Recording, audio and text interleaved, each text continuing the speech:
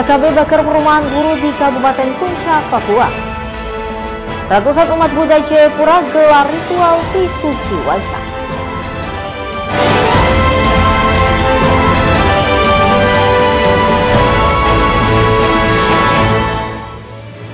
Halo selamat siang pemirsa, selain kedua berita tadi, sejumlah berita dan informasi menarik lainnya juga sudah kita siapkan dari Tongkurang Redaksi Ayunis Papua. Bersama saya Rensi Aktesial, mari kita ikuti berita selengkapnya.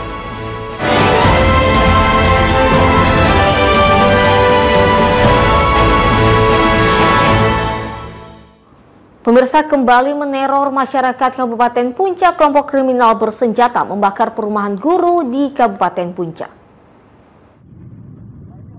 Kelompok kriminal bersenjata kembali membakar perumahan guru sekolah SMA Negeri 1 yang terletak di Kampung Wako, Distrik Ilaga, Kabupaten Puncak pada Jumat 13 Mei malam lalu.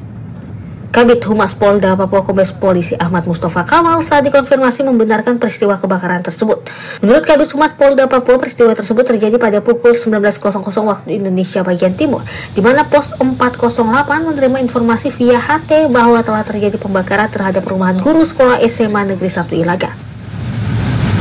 Uh, terima kasih dapat kami informasikan tadi malam sekira pukul 19.00 di Kampung Paku, Distrik Ilaga telah terjadi pembakaran mes guru SMA 1 Kabupaten Puncak yang dilakukan oleh kelompok kriminal Puncak.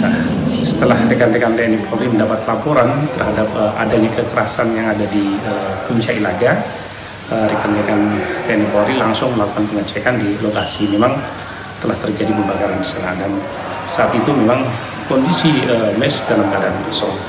Namun kita cukup sesalkan karena itu sebagian fasilitas yang disiapkan untuk mendukung proses belajar mengajar yang ada di Kabupaten Puncak. Ya, tentu kita tidak asing lagi bahwa KKB selalu melakukan kekerasan demi kekerasan baik terhadap masyarakat umum, TNI Polri maupun terhadap fasilitas-fasilitas yang digunakan oleh masyarakat. Terima kasih. Dirinya juga menambahkan personil Ops Damai Kartens dan warga perumahan tersebut bersama-sama membantu memadamkan api yang membakar perumahan guru sekolah SMA Negeri 1 Ilaga. Dan pada pukul 19.20 waktu Indonesia bagian timur, api berhasil dipadamkan.